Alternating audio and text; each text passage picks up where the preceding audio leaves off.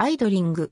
フォーティーンスライブイの中のアイドリング。大会でバターシング。菊池亜美アイドル卒業までのカウントダウンは、日本の女性アイドルグループアイドリングのライブブルーレイディスク。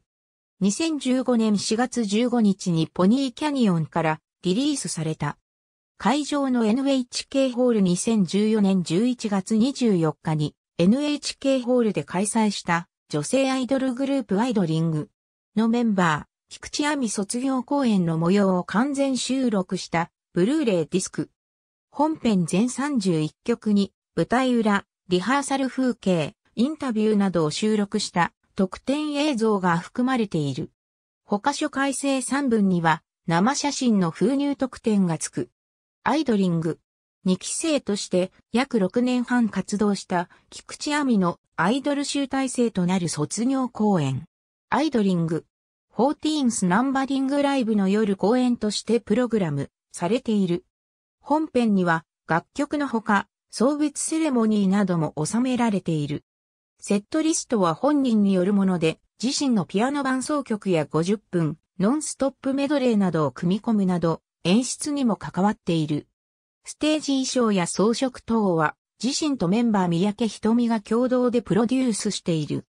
中学生メンバーであった清久レア、橋本ルカは、年齢による時間制約上18曲目までの参加に、とどまっている。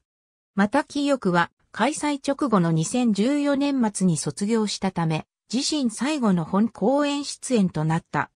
送別セレモニーでは、グループ OG で、同い年の親友でもある、谷沢エリカが駆けつけた。また、アイドリング、MC を務めるバカリズムが、サプライズで登場した。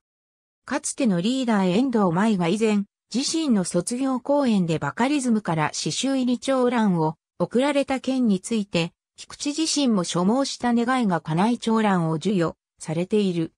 実際の本公演で訪れが発生し、アクシデントになってしまった3曲目のキュピは、本作では NG 部分が映像、音声ともに修正されている。